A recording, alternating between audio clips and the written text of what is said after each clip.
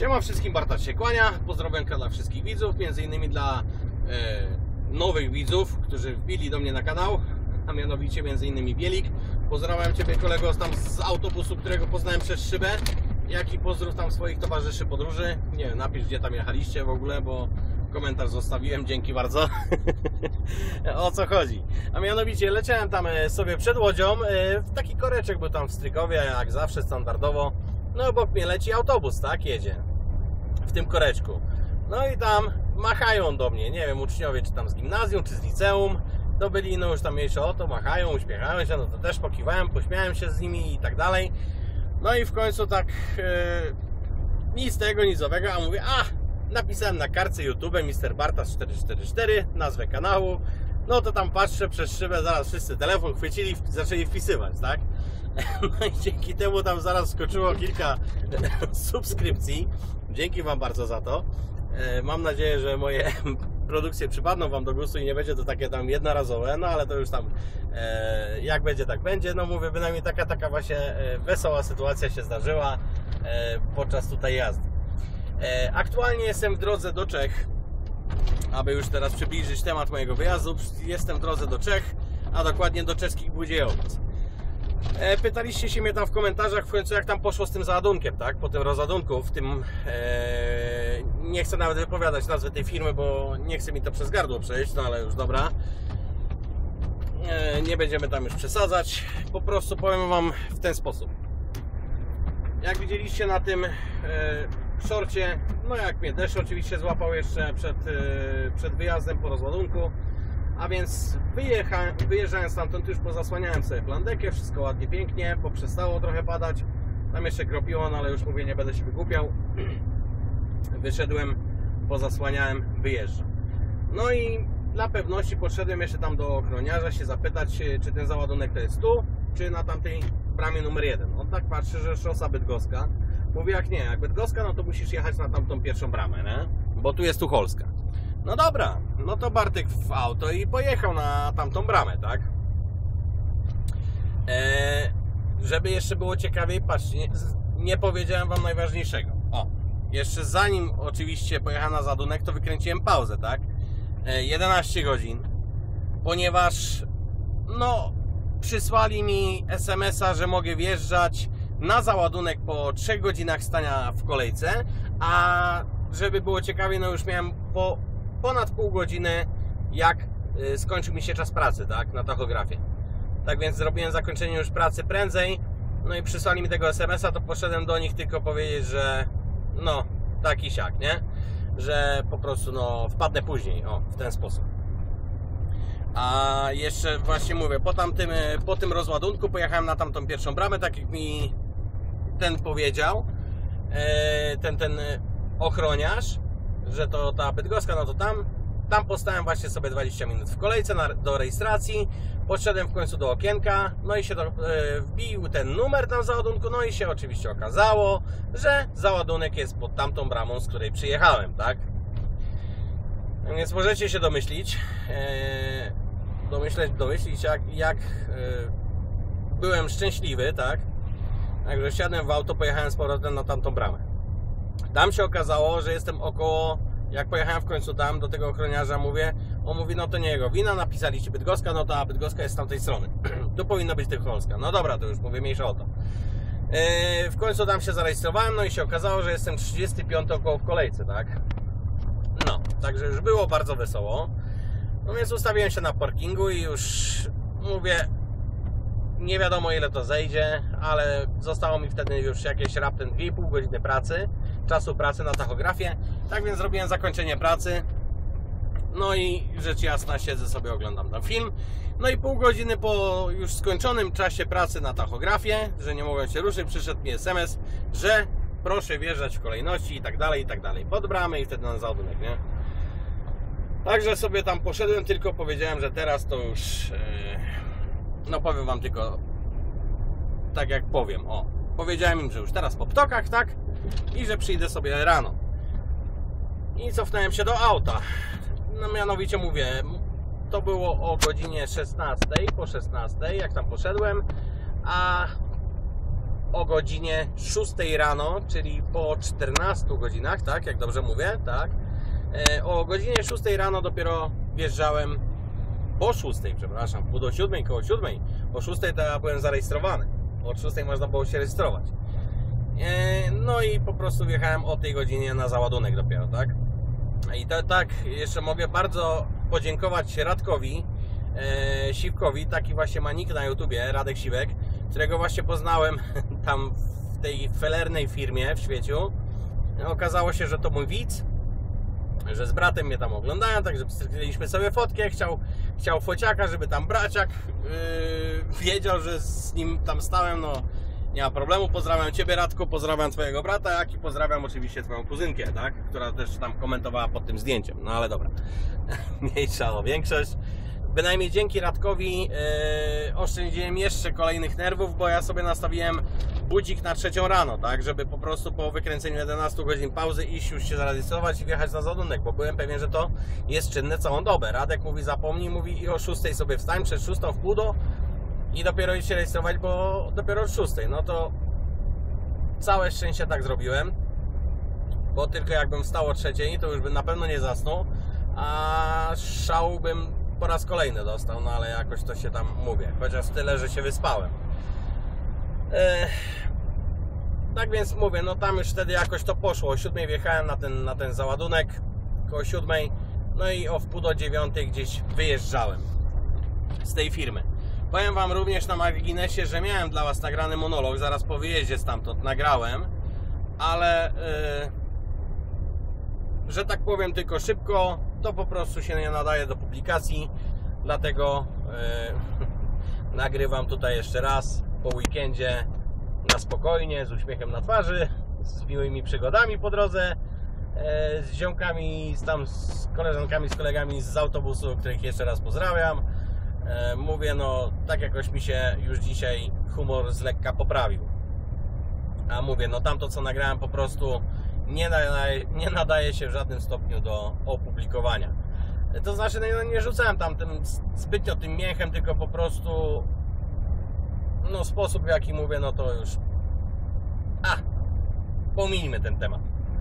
Bynajmniej mówię, no zmarnowali mi nerwów niesamowicie tam na, na tym kolerstwie. Ja byłem pewien, mówię, że odbędzie tam swoje, ale myślałem, że jeszcze do domu zjadę. No i bym zjechał, gdyby po prostu nie to, że dosłano mi ten załadunek, tak, którego w planach nie było początkowo. Ja dopiero rejestrując się w kolejce, doszły mnie właśnie tak jak Wam i to wspominałem, doszły mnie te jakże wspaniałe, świetne wieści, że ja jeszcze będę miał tam załadunek. Oj, mówię, naprawdę, tamta firma to, to jest totalna porażka.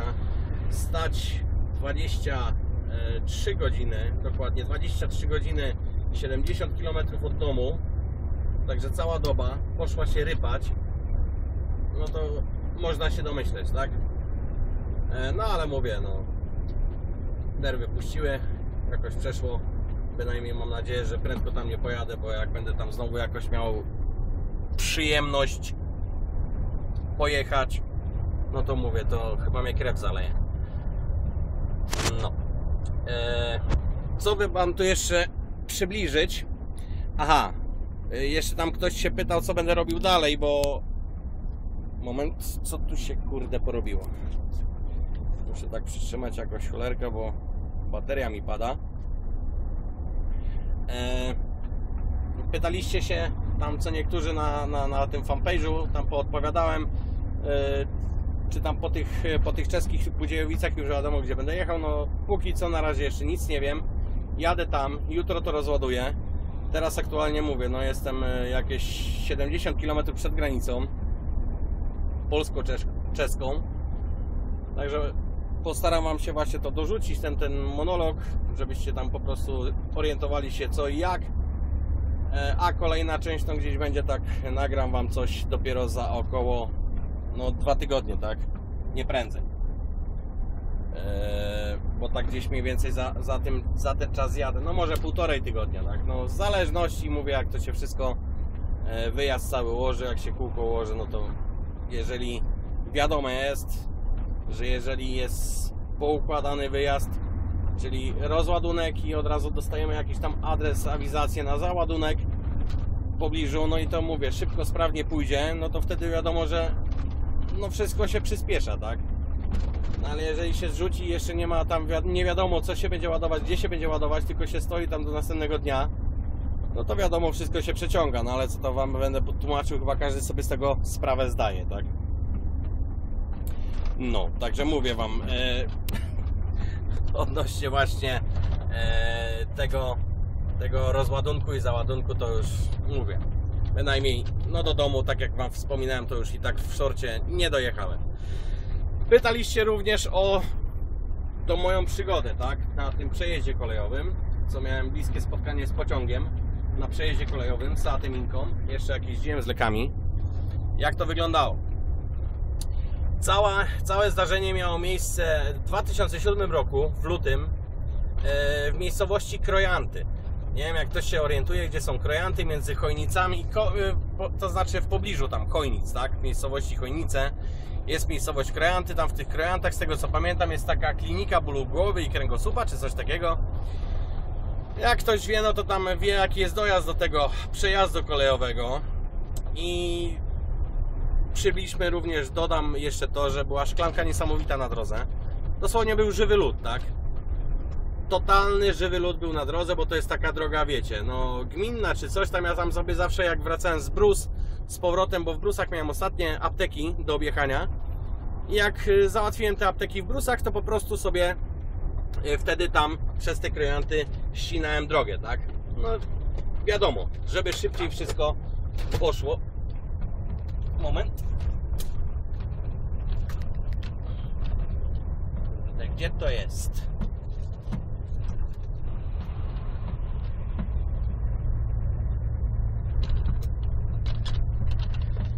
I ja sobie po prostu przez te krojanty skracałem drogę do domu.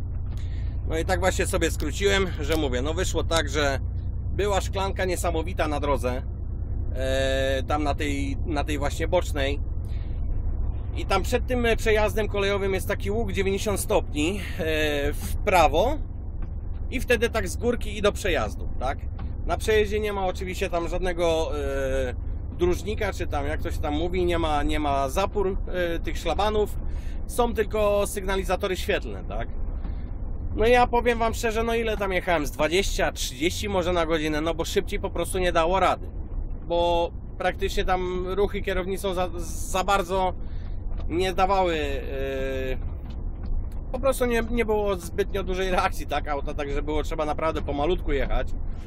No i powiem Wam właśnie, jak zjeżdżałem, skręciłem tam pomalutku w prawo i zjeżdżam z tej góreczki, patrzę na dole te światełka, tak, naprzemiennie tam z tym, sygnali, z tym sy, sygnałem, tym dzwonkiem. Oczywiście tego jeszcze nie słyszałem wtedy, no ale tam wiecie, to bing, bing, bing, bing na tym przejeździe, tak. Wiadomo, wszyscy wiedzą mniej więcej o co chodzi. E, patrzę, no mówię, no trzeba oczywiście się zatrzymać, tak. No ale co, wciskam hamulec, żadnej reakcji, samochód leci. No to kurde, mówię, ja pierdzielę, ręczny. Mówię, chociaż może go jakoś tam gdzieś coś, coś przyhamuje, nic. W ogóle tam mowy nie było. No rzecz jasna, jeżeli przednie koła nic nie hamowały, no to tylnie wcale, tak? Yy, Kierownicą próbowałem już wtedy, jak byłem już taki, znaczy no nie było to aż takiej dużej paniki, bo jednak kombinowałem cały czas, nie siedziałem, nie trzymałem się kurczowo kierownicy, nie trzymałem nogi na, na hamulcu, tylko kombinowałem, co tu zrobić.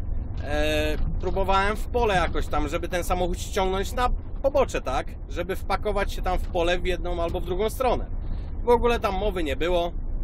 E, tak jak samochód leciał, tak sobie leciał z tej góreczki. Patrzę z lewej strony, ten pociąg się zbliża, tak? Powiem Wam szczerze, wszystkich świętych już prawie, że przed oczami miałem. No i dosuwam się do tego przejazdu. To już były no dosłownie milimetry. Ta lokomotywa już była z lewej strony, no i tylko siup. Lokomotywa przeleciała, a ja dosunąłem się do wagonów, tak?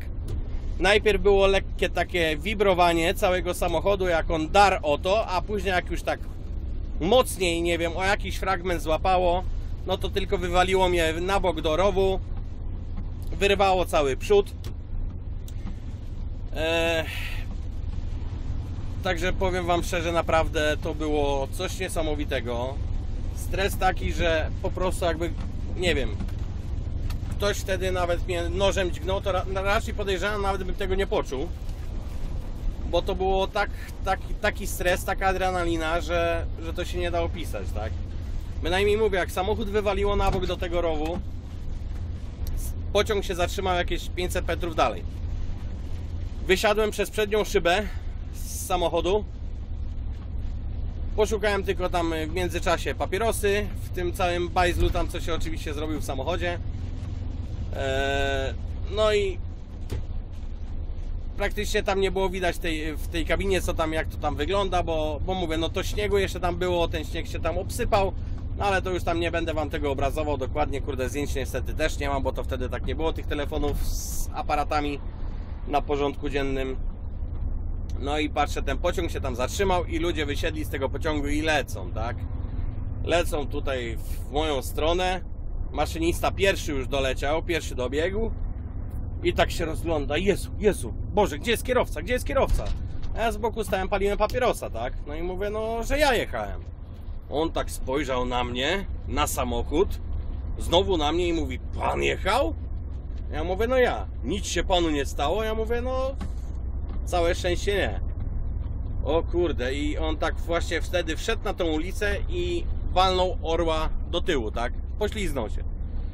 Autentycznie wywalił orła. Żeby było ciekawiej, no oczywiście trzeba było policję wezwać, wiadomo. Policja przyjechała. Żeby właśnie było ciekawiej, to policjant wychodząc z samochodu na ulicy walnął orła również. Poślizgnął się do tyłu, tak? Poleciał na plecy. Taka była szklanka. I to są właśnie takie, też można powiedzieć, e, absurdy drogowe, ponieważ e, wina oczywiście była moja. Przyznano mi mandat. Wina oczywiście była bezapelacyjnie moja, no bo wiadomo, pociąg zawsze ma pierwszeństwo, czy to na strzeżonym, czy na niestrzeżonym przejeździe kolejowym. Pociąg ma pierwszeństwo. Naszym obowiązkiem jest zachować oczywiście czujność, e, ostrożność, dojeżdżając do przejazdu, patrzeć w lewo, w prawo, czy, czy, czy się palą te sygnalizatory, czy się nie palą ale po prostu no, trzeba oczywiście zachować ostrożność. No i policjant sam powiedział, no ja cię chłopaku rozumiem, jest ślizgo, nie wyhamowałeś, bo no sam widzę, tak mi powiedział, sam widzę co tu, co tu jest na tej drodze, ale no niestety ja muszę mandat Ci wstawić. Chciał, nie chciał. Takie, takie jest po prostu w Polsce prawo, tak, że on mandat musiał mi wstawić, za to po prostu, że ja uderzyłem w ten pociąg. Maszynista też z boku stał i mówił, że no to jest kurde trochę nie tego, bo no sami po prostu widzieli sytuację jaka była na drodze, że tam po prostu była totalna szklanka. Totalna szklanka i no po tej przygodzie powiem Wam szczerze, e, już nigdy więcej zimą oczywiście sobie tamtędy drogi nie skracałem, tak? Już miałem nauczkę, do tej pory mam już praktycznie do teraz to w tamtych stronach nie jeżdżę, a zwłaszcza samochodem osobowym. Tak więc już po prostu odpuszczam sobie przejazdy tamtędy. E, kurde, naprawdę powiem Wam szczerze, takie, takie coś, co, co, co się przeżywa. Jeszcze można tylko napomnieć, że po prostu, no ile? z 3-4 sekundy, gdybym był szybciej, tak? 3-4 sekundy. Ten wylądował pod lokomotywą, bo już bym zdążył wjechać, wślizgnąć się, przepraszam, nie wjechać, tylko wślizgnąć się na sam przejazd kolejowy. No i wtedy by już ratunku nie było, bo bym skończył pod e, pociągiem, tak? Także nawet byście e, o mnie nigdy nie słyszeli. no taka jest prawda, tak? Taka jest prawda i, i tak, to, tak to wygląda. Uratowało mnie właśnie to, o, jeszcze można napomnieć, bardzo ważne, bardzo ważne. Druga rzecz, opatrzność taka chyba ręka Boża, nie wiem, że to był pociąg osobowy. A dlaczego? A dlatego, że pociąg osobowy jest zabudowany do samego dołu, tak? I dzięki temu po prostu ja dosunąłem się do niego i on zaczął mi tymi tam, nie wiem, drzwiami, czymś elementy wyszarpywać od samochodu, odrywać ten przód. Gdyby to był pociąg towarowy, to ja bym się na pewno wciągnął pod niego, on by mnie, ja bym się wciągnął, on by mnie wciągnął pod siebie i by mnie i bym je po prostu przemielił, tak? Bo wiadomo, możecie zobaczyć jak wyglądają wagony towarowe, jak wyglądają wagony osobowe. E, mówię, osobowe są za, zabudowane do samego dołu, a towarowe po prostu, no jest tam przestrzeń. Jakbym się wsunął, no to już praktycznie również by ratunku nie było. Także mówię dwie rzeczy, że 3 sekundy właśnie się spóźniłem, żeby na pociąg, tak? 3 sekundy się spóźniłem inaczej pod pociąg. I druga sprawa właśnie, że te wagony były do dołu zabudowane, no to właśnie to mnie, to mnie uratowało, bo nie wpadłem pod te wagony. O, widzimy jaka ładna nam się ta pogoda znowu zrobiła. Ta bateria mi kurde płacze, bo miałem tu nawigację włączoną. A mówię, jestem przed granicą, chciałem Wam ten jeszcze odcinek nagrać, ale będziemy pomału kończyć. Nagram Wam coś ciekawego po prostu tam na tych Czechach, coś o czymś jeszcze ciekawym opowiem. Może o jakiejś innej przygodzie drogowej, jaka mnie spotkała, ale mówię, no bynajmniej po tamtym, tamten dzień będę na pewno pamiętał do końca życia. To można powiedzieć śmiało. Bo jednak spotkać się z pociągiem na przejeździe kolejowym i spojrzeć, no bądźmy szczerzy, spojrzeć śmierci w oczy już praktycznie, no to jest coś, czego się na pewno nie zapomina. Aczkolwiek nigdy w życiu nie życzę Wam abyście mieli jakąkolwiek przygodę z pociągiem, tak? Oczywiście mówię samochód kontra pociąg, bo wi wiadomo jest no, bardzo jasne dla każdego, nawet dla dziecka, że samochód z pociągiem nie ma szans, tak jak na przykład rower z samochodem osobowym, tak? To jest mniej więcej takie, tak to można porównać. Tak więc mówię, no przybliżyłem Wam ten temat z tym pociągiem, jak to tam napisali, co niektórzy, że napisał o tym złym maszyniście. Maszynista nie był zły, maszynista naprawdę był taki koleś, bo przyszedł tam ze mną właśnie, mówię, no najpierw się zdziwił, że w ogóle ja stoję, ani zadrapania nie miałem na twarzy, nic, tylko stałem tak z boku, rękę na rękę założyłem, raczej tak jedną rękę miałem tu, drugą u góry z papierochem, no i sobie patrzyłem na ten samochód, tak. Później dopiero jak doszedłem całkowicie do siebie, no to wygrzebałem tam telefon i zadzwoniłem do do mojego taty, tak? Żeby zorganizował jakąś lawetę, bo Inka leży w robie. Po zderzeniu, bliskim spotkaniu z pociągiem. No, to tak mówię, tak to się właśnie cała ta sytuacja skończyła, także mówię, maszynista nie był wcale zły, był w porządku, jeszcze tam z tymi policjantami również yy, próbował jakoś zagadać, żeby przecież, że to bez sensu, żeby mi mandat dostał, skoro ta droga wygląda jak wygląda, no ale mówię, nasze polskie przepisy są jakie są, tego się nie obejdzie, oni musieli,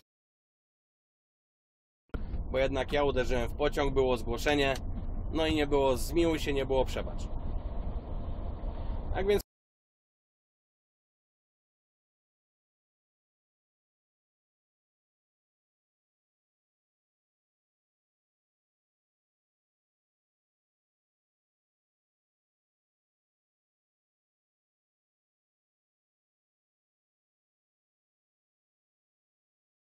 bardziej wolicie tam pewnie pooglądać e, Wargę, czy, czy 5 sposobów na i tak dalej, co, co również oglądam, czy Wujka Bohuna, wiadomo z ETS-a, e, czy z Farminga, jak nagrywa te materiały, którego Wujka oczywiście jak zawsze standardowo bardzo pozdrawiam, oczywiście pozdrawiam prezesa, całą spedycję ITL Trans i standardowo wszystkich widzów, także trzymajcie się, na Czechach coś jeszcze nagram jak zjadę do kraju to Wam to opublikuję.